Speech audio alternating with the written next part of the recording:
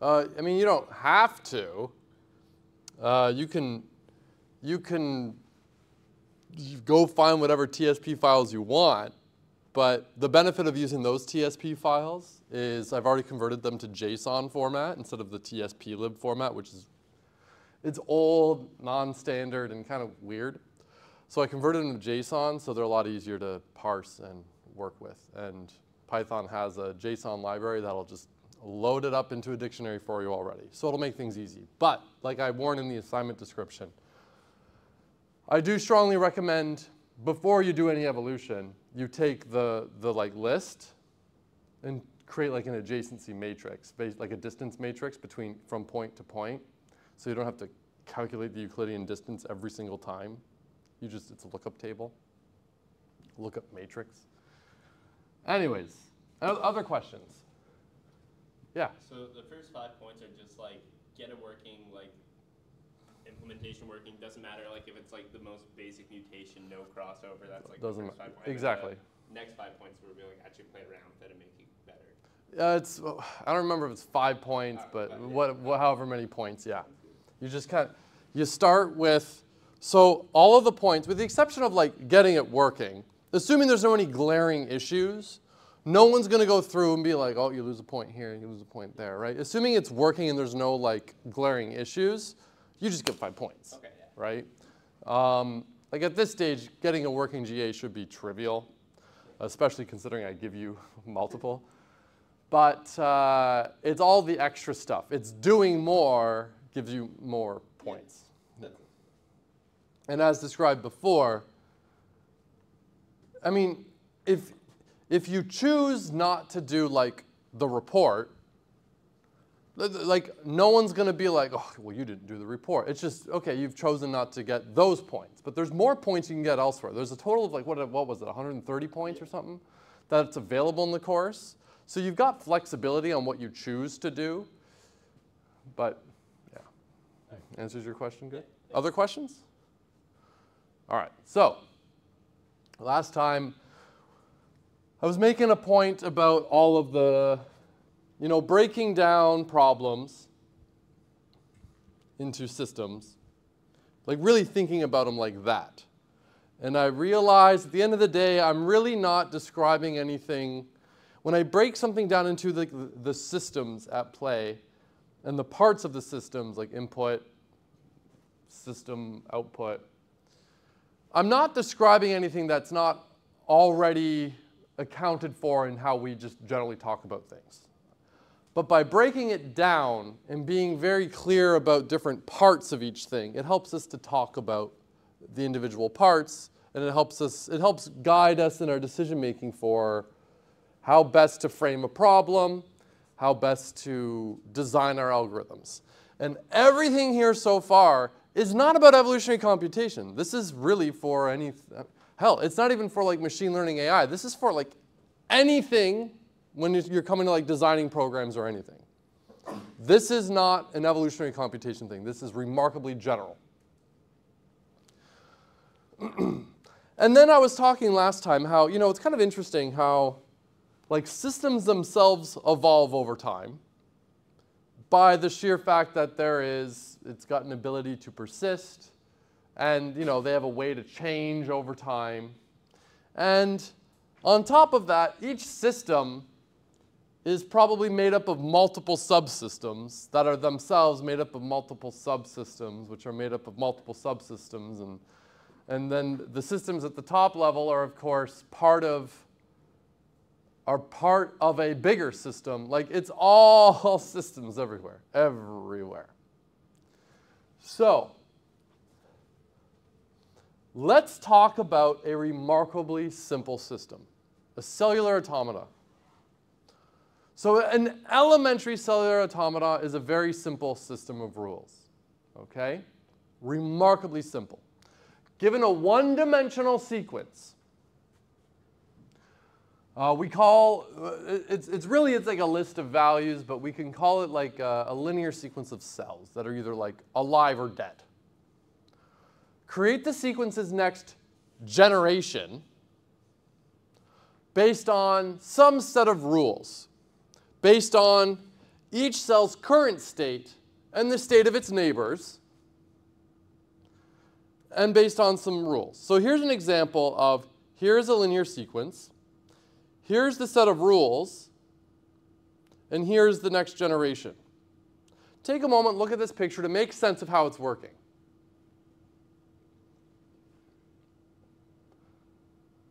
So here, it's looking at that, and that's what it produces. Here, it sees that, produces that. That, it produces the dot, right? And then when we get to this one, it's going to be this again. It's going to make a black dot, yep. And then that one, another black dot, right? This particular set of rules right here is called Rule 30. And I'm pretty sure I'd tell you why it's called Rule 30 in a moment. Oh, wait, yeah, here we go. Um, It means Rule 30 based on, first of all, we count.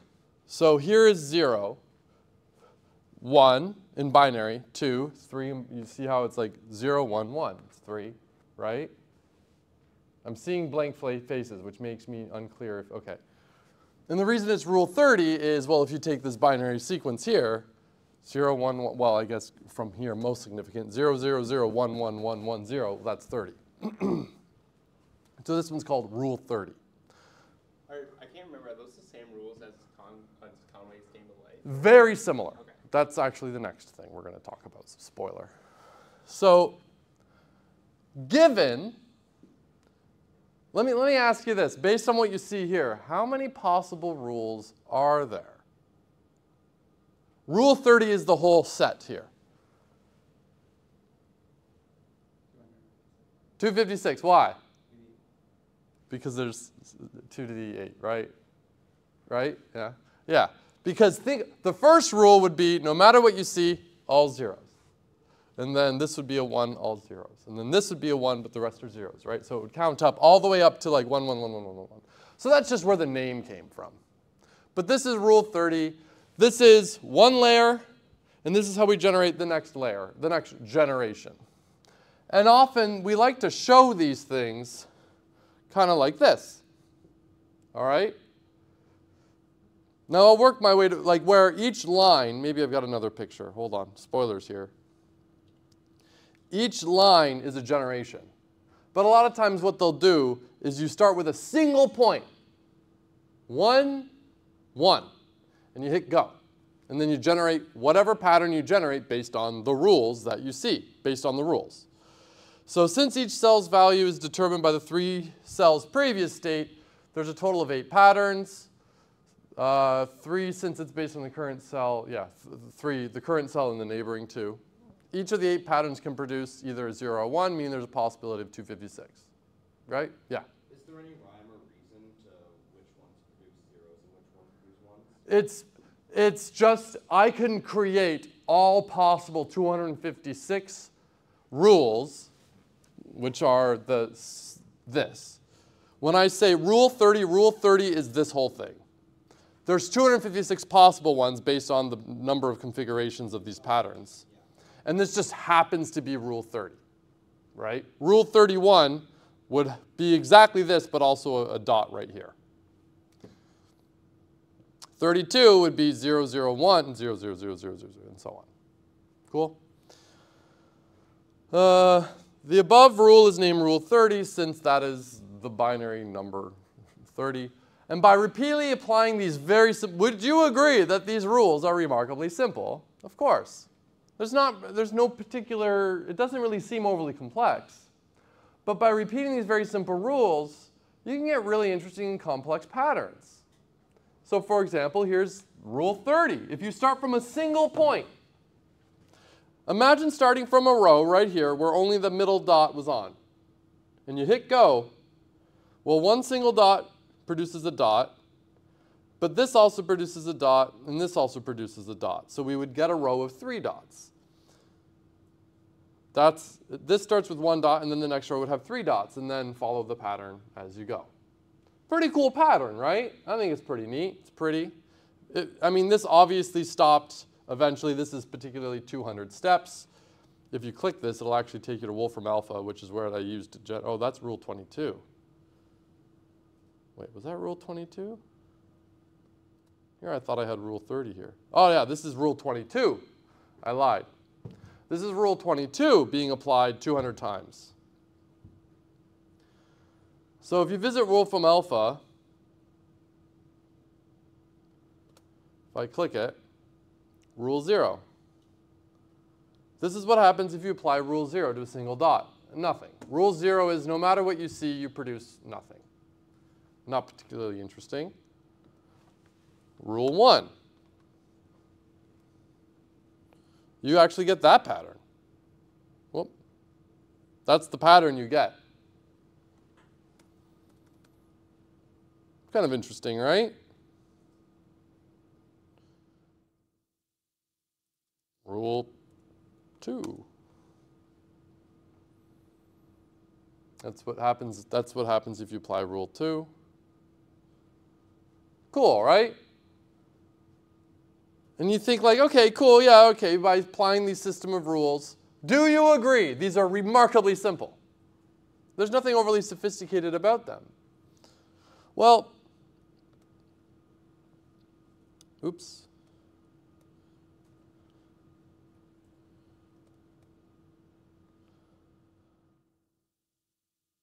All right, here's what I'm saying. Yeah, go if you're following along, go to that link and just take a take a minute and try a couple of rules. Do whatever the hell you want. Try a few dozen rules. Keep track of the ones you find the most interesting.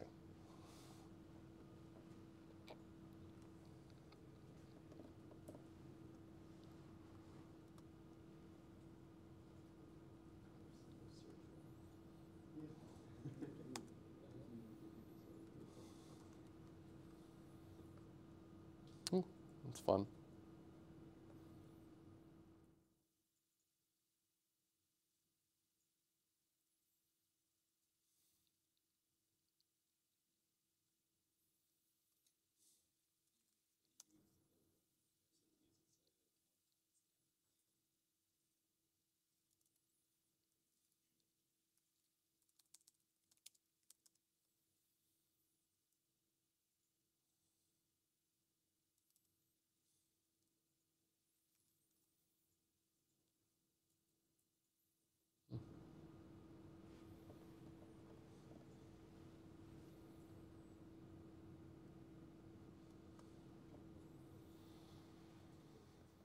I'm going to walk around. I'm just going to, I want to see what people are generating, if there's anything interesting I'm, I'm noticing.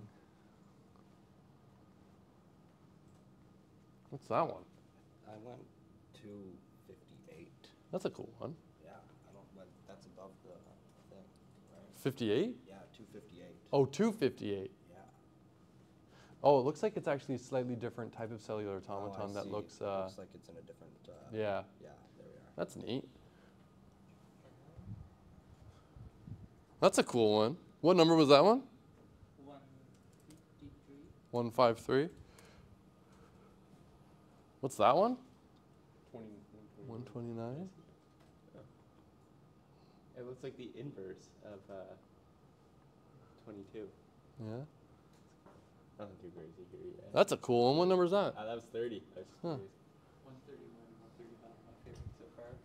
Ooh, that one's pretty cool. What one was that one? One thirty-five. 135. Yeah, I do like that one. One thirty-one. I went to the one twenty-eight-ish because I figured there would be like an even balance of the living and the dying, Right. so they'd be more likely to be interested. I, what I like about that one is like the 200 steps looks like it's like I'm looking at like a That shaded pyramid. there's, like, exact. That's exactly what it looks like to me, which I think is really cool. Like it's got a shadow. Whoa, that's a cool one. What's that one? 99. 99? Yeah, that's cool.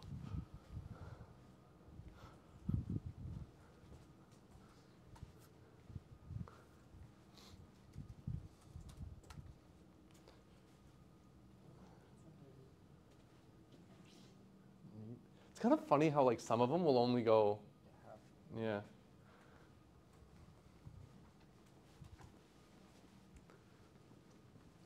Now, what were the most interesting ones you found?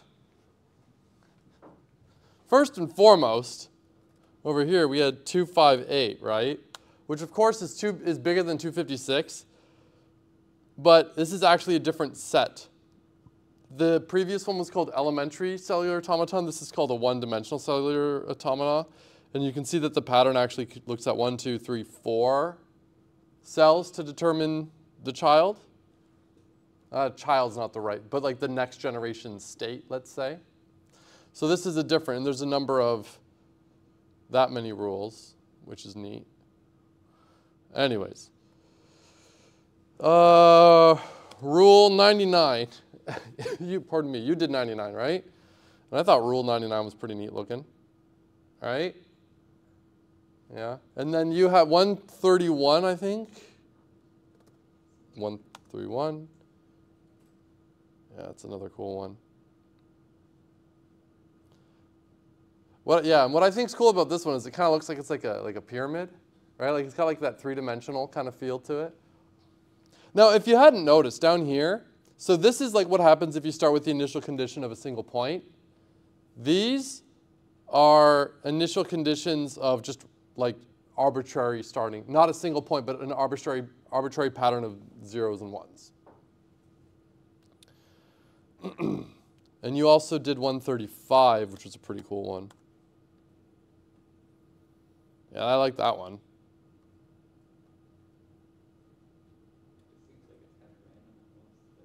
That's like, that's like an inverse of, I think, thirty. Yeah, there, there's other, there is some that's like, inverse you of know, Rule thirty that we did, I think that's an inverse. of Let's look at 30. And then I think the one Cole found looked like an inverse of the 22 one we were looking at. When you say inverse, what do you, what do you mean? Like, Like- switch all the black to. Um, Ah, Negative. I see. I gotcha. I gotcha. I mean, I guess you could generate the inverse by just, you could look at the pattern and be like, okay, if I change all the zeros and ones, So I tried doing that and it didn't work. interesting. Yeah. Huh. So I think it's because the initial condition is so different. That's a good point. Yeah, I guess the initial condition would have to start as like all black. Well, yeah. And what was the? Oop. uh, did anyone else find another particularly interesting one? What was the one you had? 153. 153. It's kind of to, to me. It's pretty cool when like you see it like only do half, which is pretty neat. Oh yeah, for sure. I love it. Right? Yeah. Yeah, it's kind of neat. Now, first of all, let me ask you something. What what when you were looking for the patterns, what made a pattern interesting to you? What about the patterns you looked at? What the ones that stood out to you? What was it about them that made them interesting? Varying, repeating. So like varying pat so there's a pattern, but it's not really a pattern, but there's a pattern. Yeah, that's a good way to put it, right? It's like, well, there's like this repeating pattern, but it's actually kind of like different.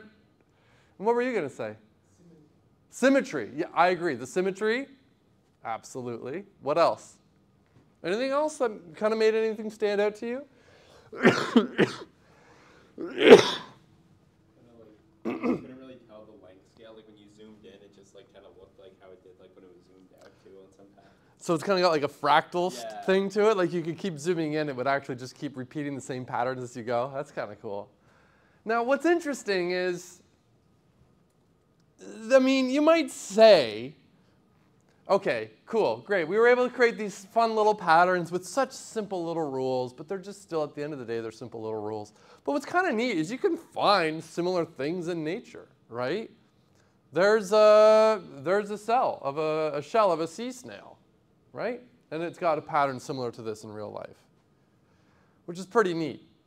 But I mean, maybe that, that kind of makes sense, right? You know, at the end of the day, our DNA is just kind of like all of the proteins and whatnot that make up living things. Really, it's just following some set of instructions. So, why would we be surprised by a simple set of instructions being encoded somewhere that gets decoded by proteins and all of the other fancy mechanics in your cells, right? So that's kind of neat.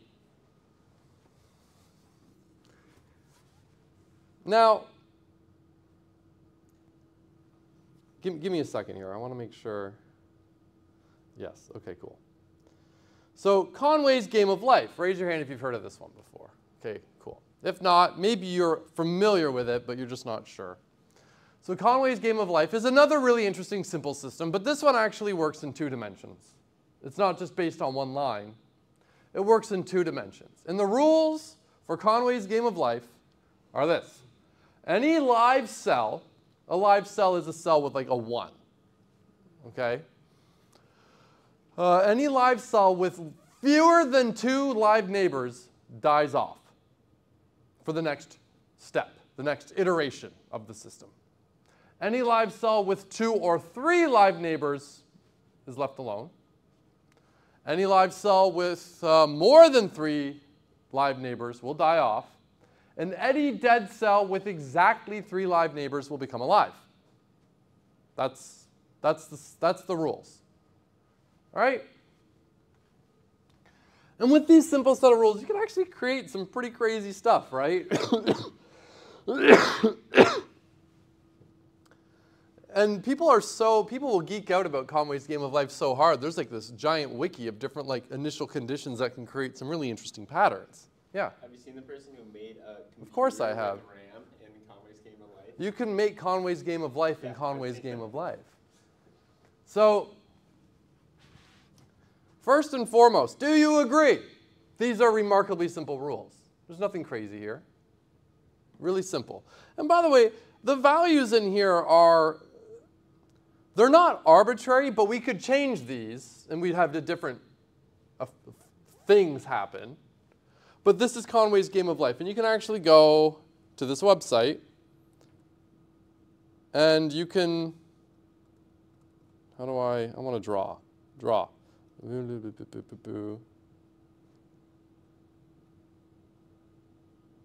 Let's see what happens.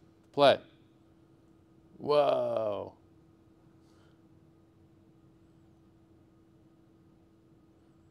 Look at that. Neat, right? Will this end? Will it ever terminate? You, maybe?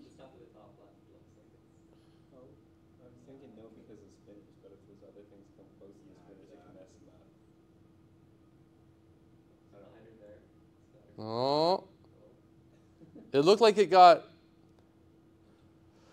So, what we could say is uh, I suppose we need to define what do we mean when we say, like, does it end? Oh. There we go. Come on, get out. You can do it. See ya.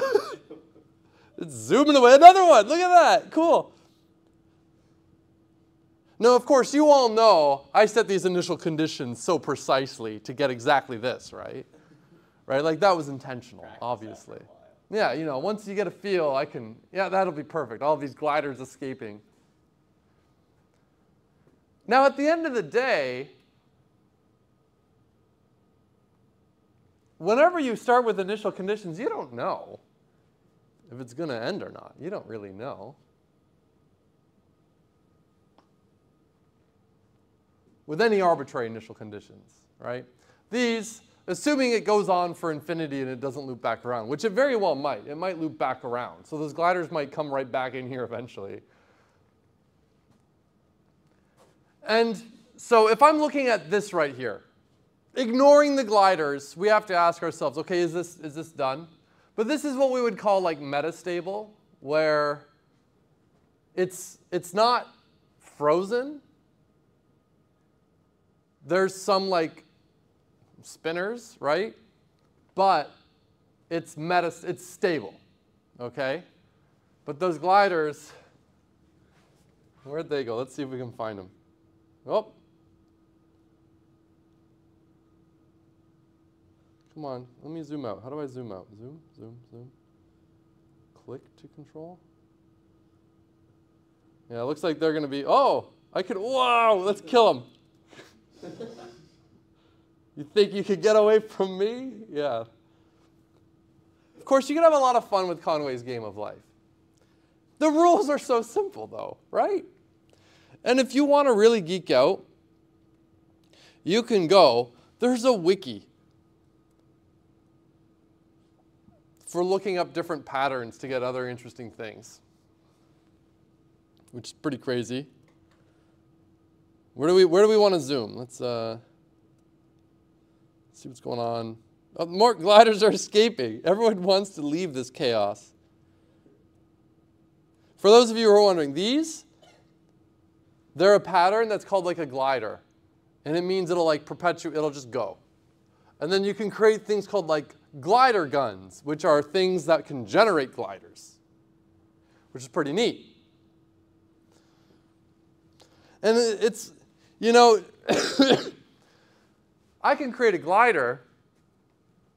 Like, I wonder what's going to happen. It looks like there's a glider right here. It's going to collide. What's going to happen?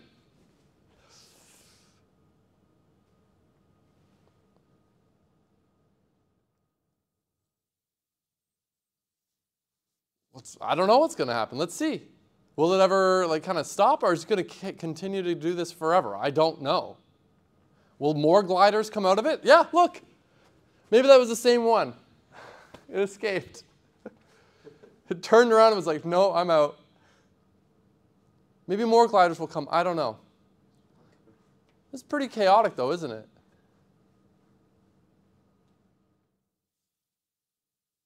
Look, it, it's that, that little cluster's it, it's refusing to die. It almost looked like another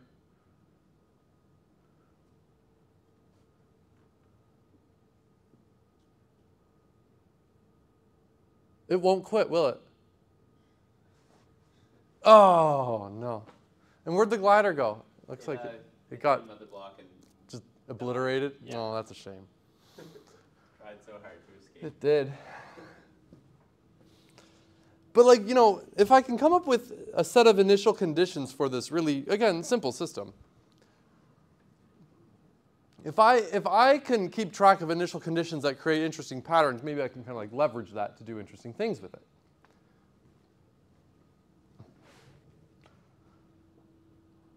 I'll, should I let it keep running? I'll let it keep running. Before the end of class, we'll have another look. All right. So here's another one. Yeah, this is called a, a puffer, right? And it, it'll just continue on like this and create just chaos in its path, right? Pretty neat. What's kind of neat here is, let's go to this link here. You could actually create logic gates. Come on, let's see if we can find.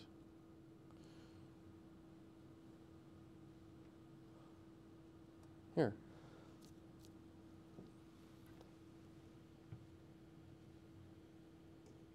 What does it? I wish it had like a.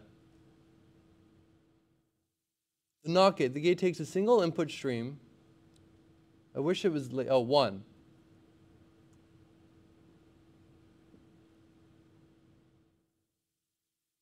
One is the input stream. What? Okay. Two collides with stream three. As a result, the output along glider stream unhindered.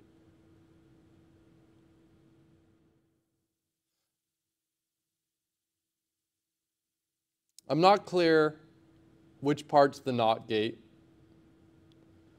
Maybe it's all of this. Maybe now for the alternative case, there's an input. Oh, and so this is, oh, hold, oh, I see. So this is false, it's returning true. This is true, 4 returns false. So would you agree that this is effectively, this is not? Right? If I think of this incoming stream as true, as voltage, we've effectively got not. Input, output. This whole thing is the gate. Pretty neat, right? Now here's AND. I'm guessing 1 and 2 are the input.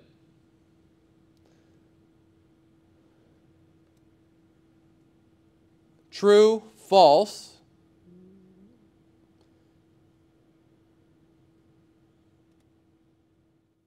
False, true, and then well, let's see what happens when we see true, true, because that's the interesting one, right? Let's see, where's the output going to be? Because this one should be producing output, but where's it going to come from?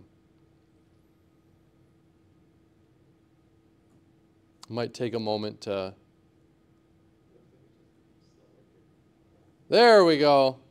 Out of here. I'm guessing that's the output of the of the end.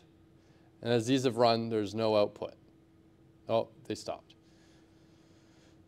Or, point is, we can make OR gates.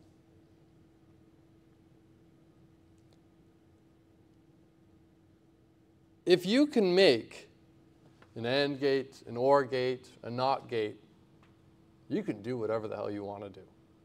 You have a computational system.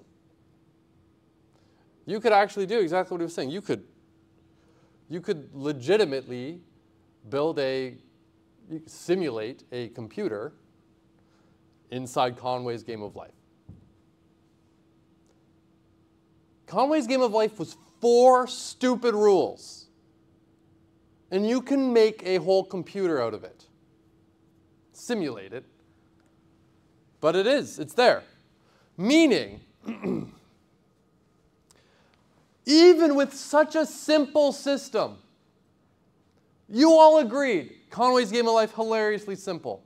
Four rules on a grid. That's it. But with such a simple system, we could actually make a computer. If we can make a computer, that means we can simulate Conway's game of life inside Conway's game of life. And if I can simulate Conway's game of life inside Conway's game of life, what else could I do? I could simulate Conway's game of life in Conway's game of life in Conway's game of life. And so on and so on and so on and so on and so on. There's nothing stopping me from that. Conway's game of life, from this simple set of systems, we could like, towards infinity, keep simulating itself. I think, that, I think I might even have a link to a video kind of showing it. Make sure there's no audio though, because the video, the, the audio is really annoying, if I remember correctly. Yeah. So here's an example. Conway's Game of Life. It's, it's a minute 30 I don't know why it's got the little, not loading.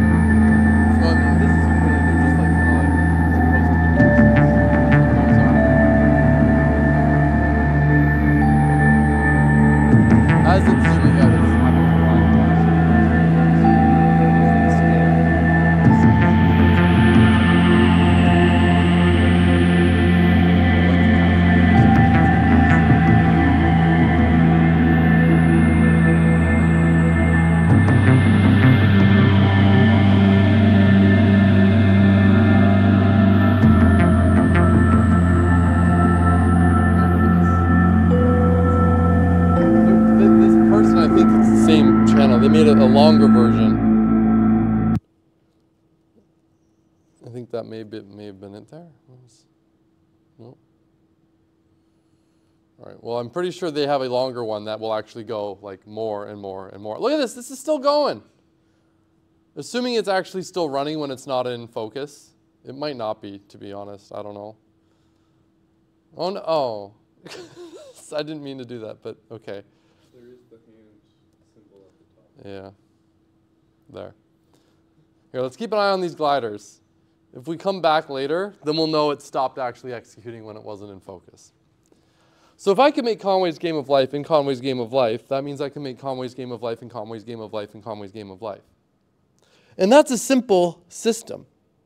There's more complex systems around us. And with such a simple system, I can actually do something so remarkably interesting. If I can simulate a computer, Conway's game of life is Turing complete.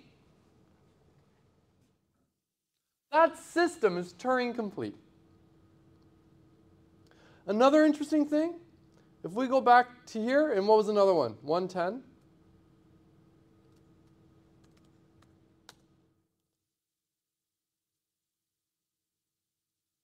One ten is also rule one ten, an even simpler thing. It's Turing complete. Such simple systems can generate such immense complexity. You can harness the rules of these systems to compute anything that we can compute. Like that's mind blowing if you ask me. So if we have such a simple system that can generate immense complexity and sophistication, just based on these iterative rules, what can we do with more interesting and more complex systems?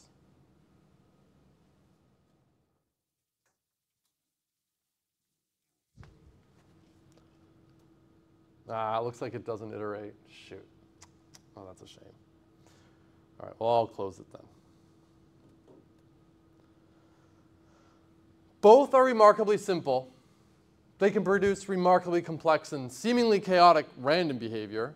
But it's not random because it all came from in initial conditions. If I gave you the same initial conditions, you can generate the exact same thing. Both don't have any form of intelligence. They just follow the rules, starting from their initial conditions, but they're Turing complete. They can perform any computation any other Turing complete system can, like your typical desktop computer or your laptop. They can do that. You can play Doom in Conway's Game of Life. I really wouldn't want to, but you could. Now, I've mentioned the invisible hand before, right? And has anyone by chance ever heard of the the the the, the, the relatively short economics essay called I Pencil. It's from decades ago. But the whole point of this essay, which I would actually recommend you read, you can find it easy on Google Scholar. The whole point of this essay is who knows how to make a pencil from scratch? And the answer is nobody. No one can do it. Think of all of the things that have to come together to make something as simple as a pencil. Did you, did you procure the, the graphite? Who got the graphite? How did you get the graphite? I mean, maybe you can buy the graphite and you can buy the wood and stick them together and call it a pencil. But you didn't. There, there's a lot of things in between. Did you cut down the tree? Did you cut, cut it up? Did you transport it? Who got the gas to put in the vehicle to transport the wood to get it to you? There's a lot at play. But every single person there is just doing their job. The person cutting down the tree isn't going like, I'm making a pencil. They're just cutting down a tree because that's their job. The person driving the truck isn't thinking they're making a pencil. They're just driving wood around because it's their job. Every single individual is just doing their thing. But that can come together to produce something interesting. Right? No one knows how it's happening. This is like emergent behavior. When you have people like just things following their own self-interest, following the rules, doing their thing, but something more interesting and like complex kind of arises out of that. That's emergence. And that's really interesting. Conway's Game of Life, the cellular automatons, they, there's emergence there. Now, before we carry on with this conversation, I need to warn you all of a big uh, pitfall called teleology. It's not good to explain phenomenon in terms of the purpose they serve.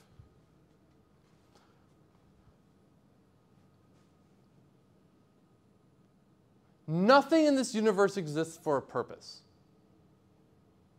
as far as we know.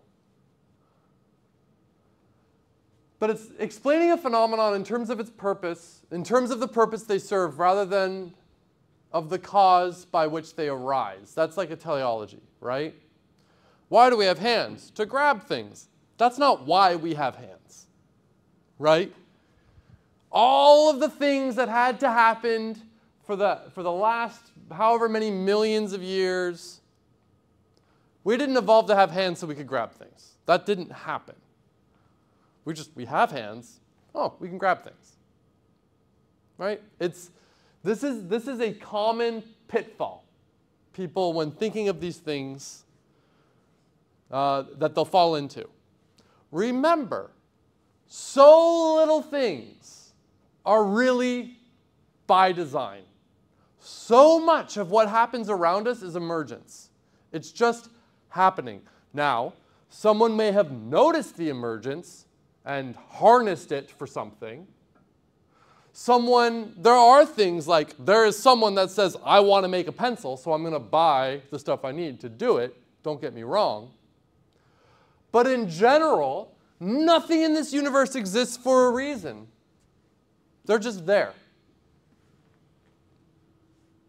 The exception being things like humans create.